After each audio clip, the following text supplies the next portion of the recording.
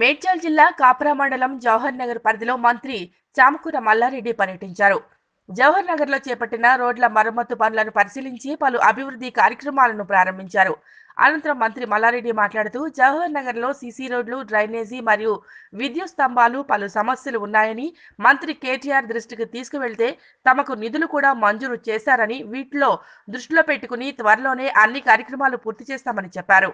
అదేవిధంగా బాలాజీ నగర్లో నూతన టీఆర్ఎస్ పార్టీ కార్యాలయాన్ని ప్రారంభించారు. ఈ కార్యక్రమంలో జవహర్ నగర్ టీఆర్ఎస్ అధ్యక్షులు రెడ్డిశెట్టి శ్రీనివాస్ మేకల అయ్యప్ప మేకల భార్గవ్ మరియు కార్యకర్తలు పాల్గొన్నారు.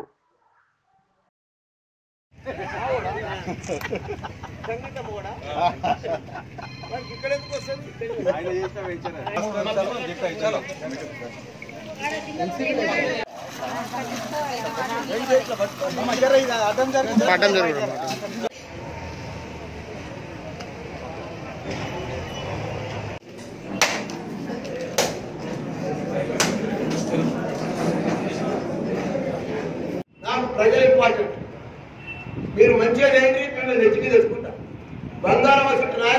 నేను చెప్తా అప్పుడే పొగుడతా.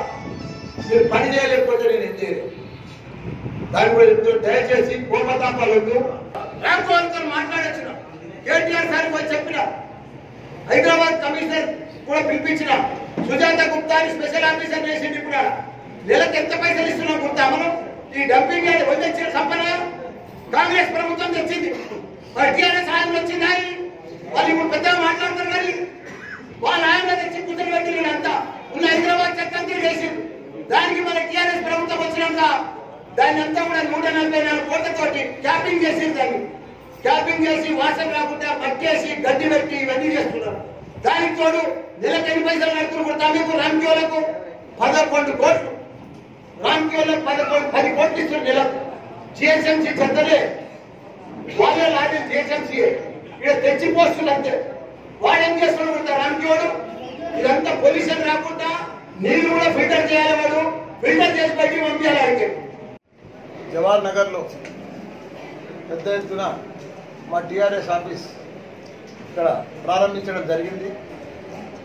ఏది ఏమైనా జవహర్ నగర్ అంటేనే నాకు ఒక గుండెకాయ. ఎందుకంటే నాకు పది మున్సిపా మూడు ఏడు మున్సిపాలిటీలు ఉన్నాయి. మూడు కార్పొరేషన్లు ఉన్నాయి. కానీ అన్నిట్లలో కూడా ఈ పదిట్లలో కూడా నాకు జవహర్ నగర్ ఇంపార్టెంట్. గత పది నెలలు అయింది నేను గెలిచి. నేను మా సీఎం పెద్దల కేసీఆర్ గారు ఆశీర్వాదంతో మంత్రి కూడా అయినా. కానీ ఎప్పుడు కూడా నాకు తొమ్మిది ఎనిమిది తొమ్మిది నెలల సంది నాకు కోడే వచ్చింది. కోడే వచ్చింది కాబట్టి ఇప్పుడు తప్పకుండా వర్షాలు బాగా పడ్డాయి ఈసారి. బాగా రోడ్లు డ్యామేజ్ అయినాయి డ్రైనేజీలు బాగా దెబ్బతిన్నాయి ఎక్కడి ఎక్కడ కుంగిపోతున్నాయి గుంతలు కూడా చాలా బాగా పడ్డాయి. కాబట్టి ఇవన్నీ కూడా చూసి మా నాయకులతోటి మా కాబోయే నాయకులతోటి ఒక మీటింగ్ ఏర్పాటు చేసి మీరందరూ కూడా రెస్పాన్సిబిలిటీ తీసుకోవాలి. నేను కూడా అలా భాగస్వామ్యం అవుతా. పెద్ద ఎత్తున మనం ఒక ఉద్యమం మాదిరిగా జవహర్ నగర్ అంతా మంచిగా రోడ్లు కానీ డ్రైనేజ్ కానీ లైట్లు కానీ ఇవన్నీ కూడా క్లీన్ చేద్దాం. దానికి తోడు నేను మా కేటీఆర్ గారి దగ్గర కూడా మా ఐటీ మినిస్టర్ దగ్గర కూడా రిక్వెస్ట్ చేస్తే ఆయన ఒక ఇరవై ఆరు కోట్లు ఇచ్చాడు. అవి కూడా కలెక్టర్కి వెళ్ళి ఇమీడియట్గా ఫైల్ పోయింది. ఒక రెండు మూడు రోజుల్లో అది కూడా క్లియర్ అయి వస్తుంది. దానికి తోడు మైనింగ్లో కూడా రెండు కోట్ల రూపాయలు నేను ఇక్కడ స్పెషల్గా కేటాయించడం జరిగింది. అవి కూడా శంకుస్థాపన చేసిన. దానికి తోడు అంతకంటే ముందు మనం అందరం కూడా రోడ్లు చాలా బాగలేవు డ్యామేజ్ అయినాయని చెప్పి. వాళ్ళ నాయకులకు చెప్తే పాపం వాళ్ళందరూ కూడా తలా కొద్దిగా డబ్బులు వేసుకొని ఒకరు జేసీబీ పెట్టి ఒకరు టిప్పర్ పెట్టి కొందరు మట్టి లారీలు తెచ్చి కొందరు ట్రాక్టర్లు పెట్టి అన్ని కాలనీలు మీ మీ వాళ్ళల్లో మీరు మీరు ఉండే బస్తీలల్లో మీరు మంచిగా క్లీన్ చేసుకోండి.